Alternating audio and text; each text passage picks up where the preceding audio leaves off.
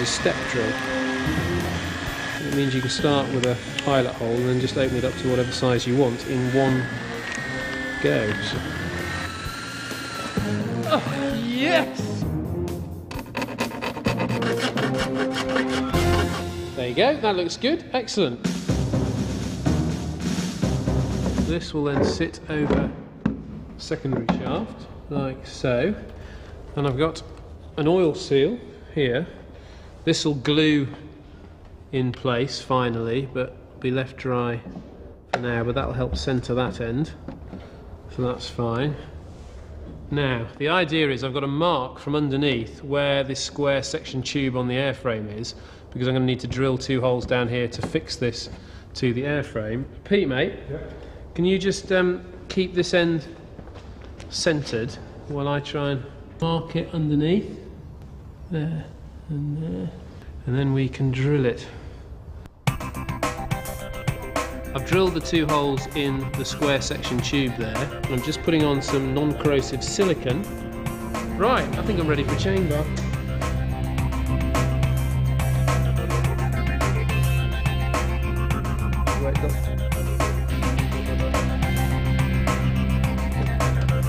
If you can take that off, clamp off, and then take the two sleeves. Got him? Coming down. Give it a tap. It's not Morse code, it's trying to get the thing in the bearing. Nothing in, it's going, it's going, it's going. Lovely jubbly. Now we need a little cog, the other end. I need to clamp on this cog onto the secondary shaft, so it's just a process of sequentially tightening up these Allen key bolts to effectively squeeze the cog onto the shaft. Okay, sorted. Next, the chain back on. I've linked the chain together from the top with an old connector link, but you can now see why this little access hatch is in the bottom here because the actual pin has got to come up from the bottom and then as it comes out to put in some little spaces in the chain.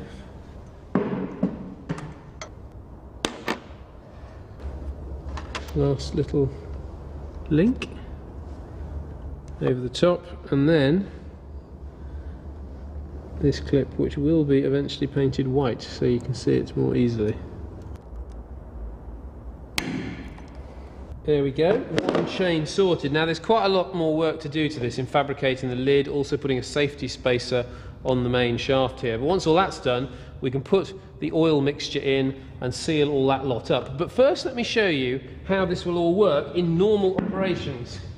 The engine here will drive the primary shaft here with the belts on. These will take the rotation back to the secondary shaft here with the big pulley on, which connects with the tail rotor, but through that secondary shaft, and then the little cog on the top and the chain drives the big cog here, which drives the main shaft and the rotors. That's all good and well, but what if the engine fails? Well, thanks to the freewheeling sprag clutch in the secondary, as the blades continue to rotate, with the engine stopped, you can keep your tail rotor turning, which means you have complete control over the helicopter to get back down to earth safely. The counter shaft is now on. This is driven by a belt from the secondary shaft in here, and all that does is drive the very expensive fan blade that's now fully fitted and bonded in place there. So that's sorted. Round to the side. The alternator is in place, and down here, the oil filter. Next job, exhaust. Just a little job that I have to do is to put on heat wrap, which is this stuff, onto the exhaust, which is this bit. The point of doing this is obviously a lot of heat is going to get generated by this exhaust, and covering it in heat wrap just protects those more delicate parts of the engine compartment. Times like this, that years of plaster casting animals with broken legs comes in very handy. It's best to take your time with this to get it right, but it's actually a very satisfying job. Nearly the point where this is finished. It will take three or four days to dry out. If you want it to take a little less time, the thing to do is take it into the warm, shift grandma out from in front of the fire and put it in her place. When it's dry, it gets painted up with fireproof paint to stop any oil or anything getting stuck in it which could be a fire hazard and then it can get fitted. Lovely, jubbly.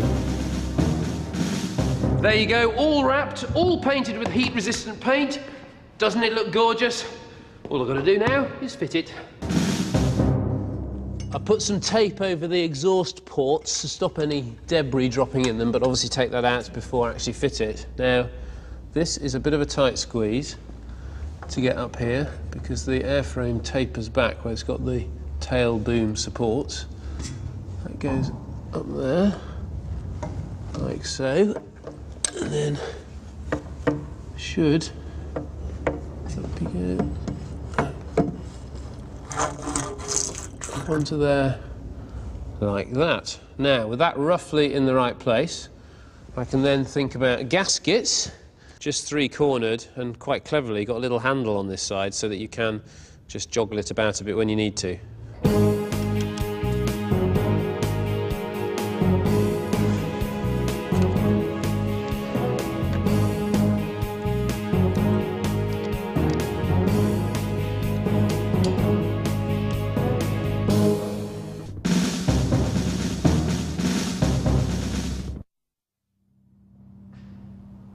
You haven't seen a radiator anywhere, have you? There it is, lurking underneath the cardboard. This job is to attach a fan shroud to the radiator and to put on this fan ring. Three bits. First job, though, is to put on a foam sealing strip all the way around the edge of the radiator. Where's the end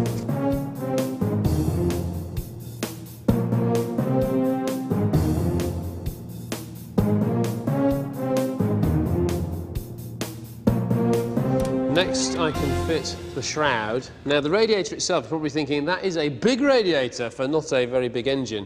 But the way helicopters work is that that engine will be going at over 4,000 revs permanently when you're actually using the helicopter. So it does run very hot, so it needs a serious amount of cooling, hence a big radiator. That drops over like so. And then when I do this do the bolts up on this, it will sit, just cover that hole up, don't want any rubbish going in. It'll squash down that seal. There we go, it's just four bolts with big washers.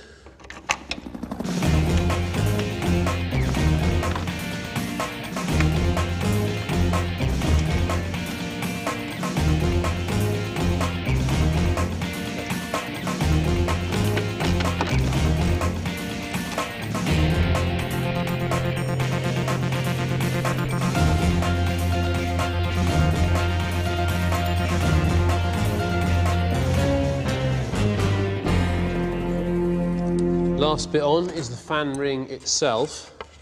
I've put a bead of silicon around there as a sealer. Now this needs to drop on. I've marked on it that that's front, that's front there, so that's going to be that side. Now to line it up so we don't smear the silicon everywhere, I can drop this down here and there's a hole at the top here. Doo -doo -doo and this just drops it down without smearing it too much. Holds it in the right kind of place. And then it's all pop riveted. Now Pete just drop this in very carefully. Yep. the fan is expensive. I come down on my knees. Yeah pray you don't break it. So it slots up into the ring okay? Yeah. and then if you got it near that bracket on the tail boom support brace There. Yeah. Got it. And got the back as well. You got the weight? Yeah, got it. Okay, right. I'll put the bolt in this side. Let's fit this spacer on far side of this bracket. This bolt will be wired on to the hole in the frame here eventually. Two seconds, mate.